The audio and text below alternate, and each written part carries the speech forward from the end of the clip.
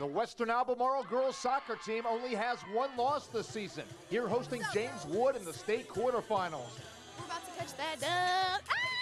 The Warriors had the edge in play in the first half, but didn't have anything to show for it. There was no score at halftime.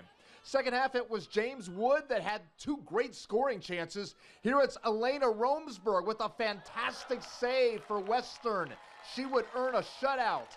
Her teammate Reese Mattern scored with six minutes left in the game to give Western Albemarle a 1 0 win and advance to the semifinals. Here at Charlottesville High School, the Black Knight boys soccer team is playing in the state quarterfinals despite losing 17 guys from last year's team that made it to the state semis. Black Knights on!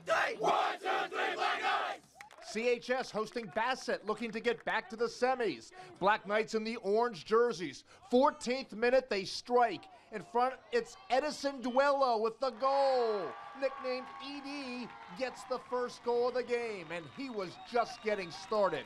A few minutes later, Charlottesville's Rocco Fleming fights off the defender, and ED gets the ball and scores again. Black Knights up 2 0. Later in the half, Charlottesville with the up ahead pass. Duello's younger brother will eventually get it, and TD puts it in the back of the net. Charlottesville wins it 6 to nothing, advancing to the state semifinals again. Marty Hudtloff, NBC 29 News.